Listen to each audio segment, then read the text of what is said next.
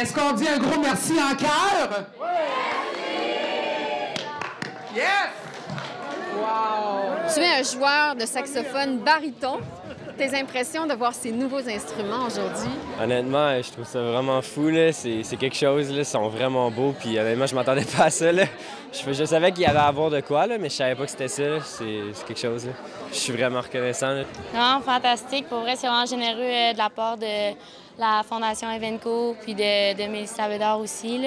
C'est sûr que de recevoir des nouveaux instruments, c'est toujours le fun. euh, que chaque élève ait son propre instrument. là. Souvenir, souvenir. Mélissa, on est dans l'auditorium de la polyvalente où tu as étudié.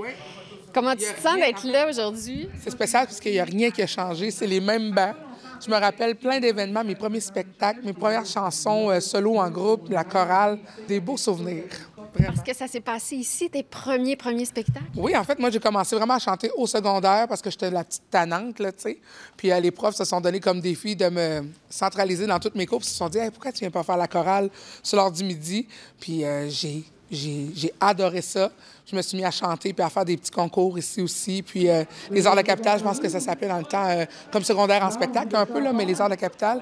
Puis euh, tout s'est passé ici, mes débuts. Ouais. Sans avoir été à la polyvalente de Neuchâtel, je suis pas sûre que je ferais la même carrière que je fais aujourd'hui parce que, écoute, j'ai eu des profs qui m'ont encouragé, qui m'ont soutenu, malgré que j'étais tannante, là, tu sais. Ils ont toujours fait en sorte que, que je réalise tout ce que je voulais réaliser.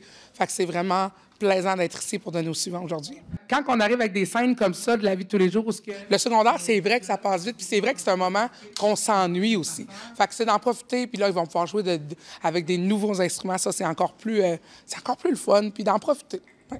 Des beaux saxophones qui brillent. Ah, hey, ça brille, là. Je pense qu'ils ont passé beaucoup de temps à les polir. C'est magnifique.